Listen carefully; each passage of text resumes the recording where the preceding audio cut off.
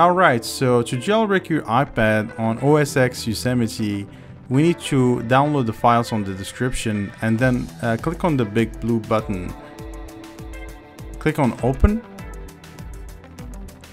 Now that we see this screen, we need to head to our iPad before doing anything else. Click on settings and then enable airplay mode. Go to passcode and make sure it's disabled so it doesn't prevent the jailbreak. Alright, uh, follow along and then click on jailbreak. This uh, jailbreak process uh, works on all kind of iOS devices and works from iOS 8 or below if you're a Windows user, you can go to their website and download the Windows version.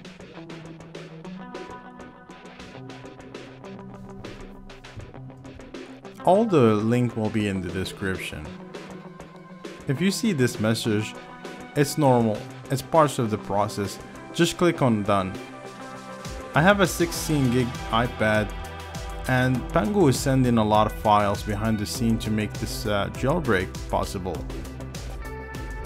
The iPad think that it's full, but if you have a 32 gigs, you will be fine on above. Okay, so look like the iPad is restarting and that's normal. Please don't disconnect your iPad yet. I would like to thank Pangu's team for their efforts and making the jailbreak possible on Mac and Windows. By the way, if your jailbreak didn't work at the first time, please retry it one more time and that should fix the problem. Alright, it's look like we're jailbroken. You will see a lot of windows pop in. Just minimize them and wait for the process to finish.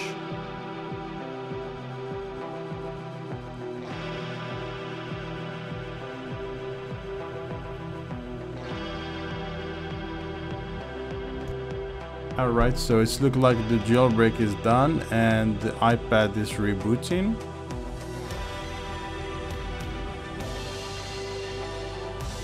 Okay, once you see the screen, just unlock.